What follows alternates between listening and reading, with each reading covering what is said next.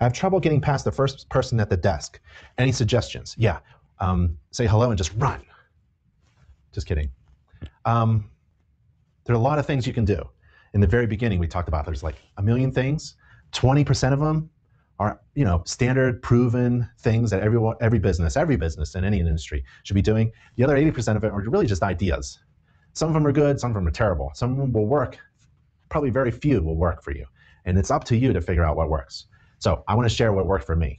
So in our area, in Pennsylvania, uh, suburbs of Philadelphia, um, there were farmers that grew peaches. And the farmers um, had these little baskets, cute little baskets that held about half a dozen peaches.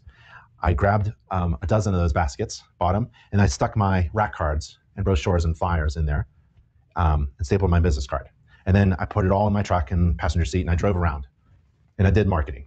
If I wasn't doing inspection, I was working on my business or working on my marketing. And I drove around to the smallest real estate agents that I could think of that were local to my um, office. And I delivered peaches. and I would walk in, you're laughing too.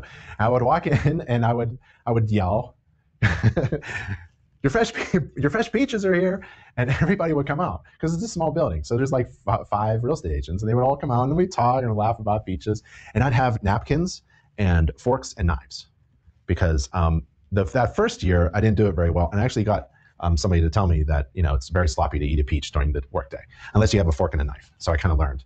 Um, the other things that I did was I just simply offered the office manager an opportunity to feed everybody, right? And all I'm asking is um, my business card to be on top of the box of fresh baked peach pastries.